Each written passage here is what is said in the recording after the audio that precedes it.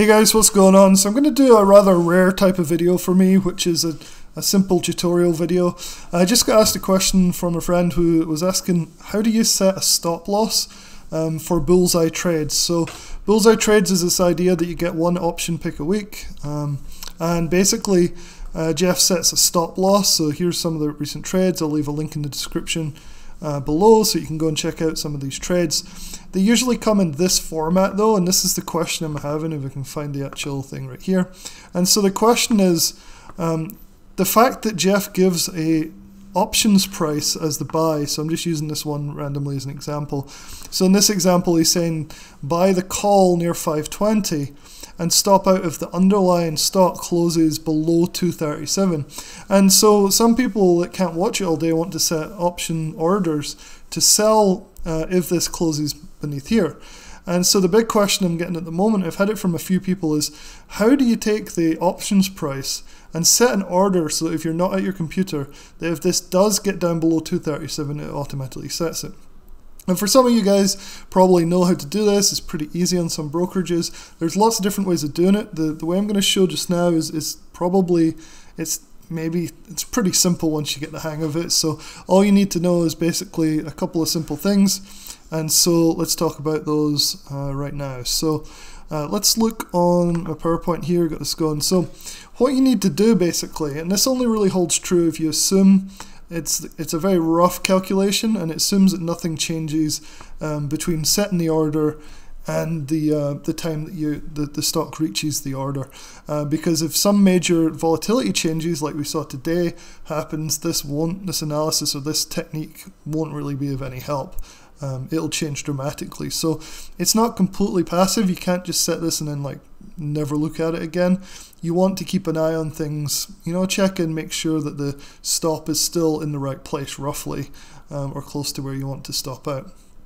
So the only thing you need to know um, is the delta of the option, right? So the delta, if you're not sure, is the rate of change with the options price compared to the underlying stock. So in this example, I'm going to use delta of 0.5. So if you don't know this, it basically means that for every $1 the stock price changes, the option that has the delta of 0.5 will change by half of that, right? So if the stock goes down $1, um, the, the option will go down $1 if it's a call option, right? Pretty simple, right? So not $1, 50 cents. So half of that, right? So I'm using, using this to make it easy because um, 0.5 delta is usually what you see when you're close to the money um, on the, the options chain here. So on Thinkorswim, it will be different on all different platforms. I've plotted delta in this column here. So I found an option, call option right here, which has a delta of 0.48. See right here, it's kind of hard to see sometimes on these screens. So I'm just going to call that 0.5. So that means that this call option will go down uh, 50 cents if the stock price drops $1. So if we look at the stock, it's CAT in this case we can say cat is currently at 244.5. Let's just draw in here. So 244.5.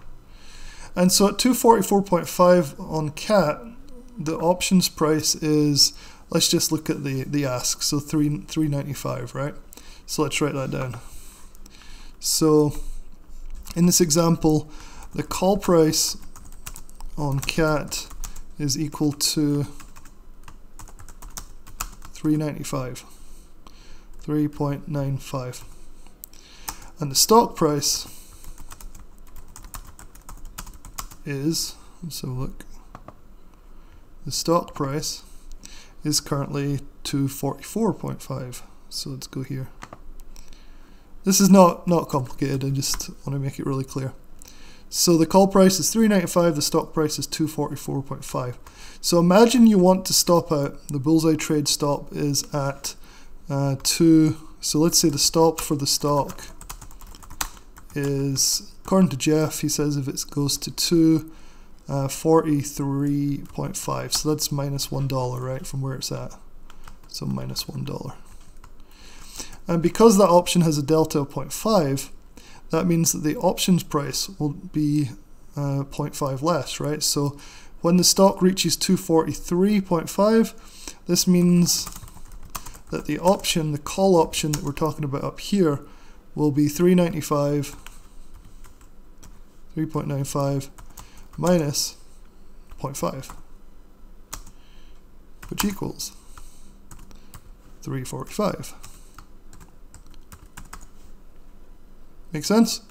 And so if you know your your stock stop price and you know the delta of your option, and it doesn't have to be 0.5, I'm just using 0.5 as an example here, you can see on your options chain you might be looking at something out here, which means the delta might be lower at 0.3 or 0.29. And so basically that's all you have to do. So you now know, given the stock price and the delta, that this would be the options price that you'd want to set for the stop price on the stock of 243.5. So the option would be you'd set your, your stop loss order to close out at 345 and hopefully it wouldn't drop from 395 down to that uh, but if it did you would stop out of that. So that's one way of doing it. The other way is um, and you definitely want to keep an eye on this because like I said if things change like the Greeks can change. Um, and so you have to make sure that you're kind of keeping an eye on that and that you're you know you're not going to stop out at much lower or whatever so it's kind of like a cheaty way to do it that's one way of doing it. The other way is you can actually go on here and when you place the stop order, it will just put it in. And so you can literally just manually shift it to roughly the stock price by cancelling the order and resubmitting it until it's at where you, where you want it to be. And on Thinkorswim, it will actually show up the orders in here. On other brokerages, I don't know how they work it, but you can do it like that way as well. So you can do the combination things. If anybody else has other ways of doing this that are better than this, let me know because I think it's very helpful for um, for everybody to know this kind of stuff. So that's what I do with bullseye trades. Um, when I'm looking to be away from my computer, I'll put in a, a stop based on the delta of the option and the underlying price. And so hopefully that answers some of your questions, and I'll talk to you guys soon.